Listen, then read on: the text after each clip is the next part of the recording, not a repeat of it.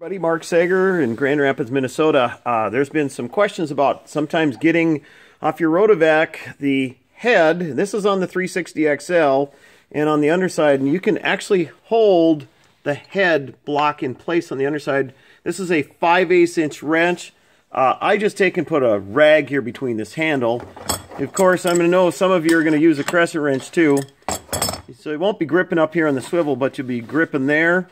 And then, just to get you that thing going here quick, so the bottom side there, so you got that in place, well, it just holds it.